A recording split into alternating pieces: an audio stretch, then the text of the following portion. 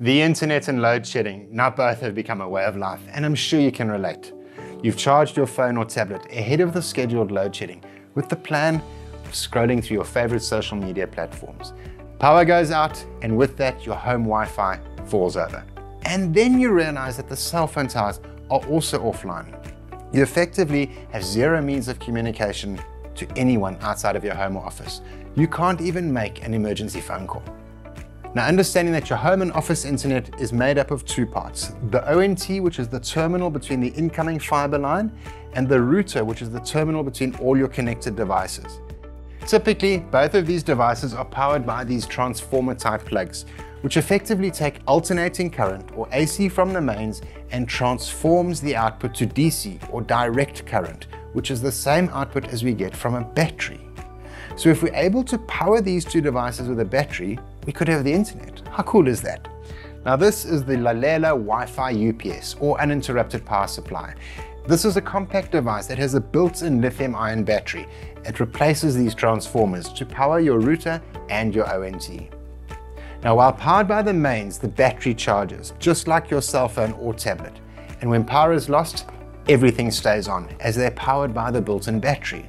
Now this unit is equipped with a 3.6 volt 13,400 milliamp hour lithium ion battery, which means we can power one device such as a router for 8 hours, or two devices like a router and ONT for 4 hours.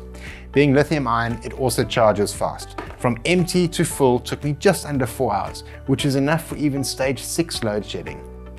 Now inside the box you'll find the Lalela Wi-Fi UPS, the instruction manual, all the power cables, a splitter cable, as well as a range of DC adapter plugs.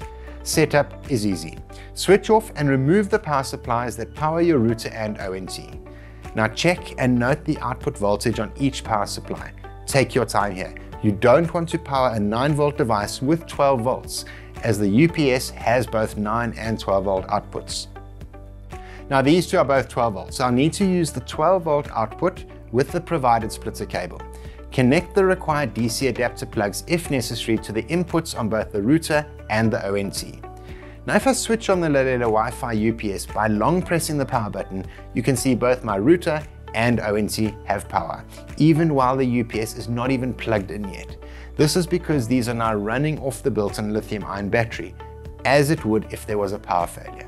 By plugging the Lalela UPS into the main supply, the battery now charges. Now if I simulate a power loss by pulling out the mains, both the router and the ONT stay powered. There's also a 5 volt USB outlet on the back, so you're able to charge a mobile device. And the PoE port can be changed between both 15 and 24 volts, depending on your setup. So your PoE devices such as remote access points, VoIP phones will also continue to be powered. But be aware though, the more devices you run off this, the shorter the runtime will be. It purely depends on the load that your equipment is drawing. Now this unit also has built-in protection against overcharging, over-discharging, overloading and short-circuiting. But I must add that if the device runs flat after a prolonged outage, you need to manually switch the UPS on by long pressing that power button once the power has returned. So that's how easy it is to keep the internet connected during load shedding.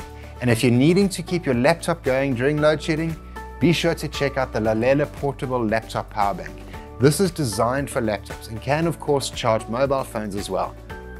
Now these two devices make a great combination together. For a more in-depth look at the power bank, check the link in the description below. Lalela products are proudly stocked at Builders and are available both in-store or online at builders.co.za. For more videos like this, check out the blog on the website. Get to Builders, get it done.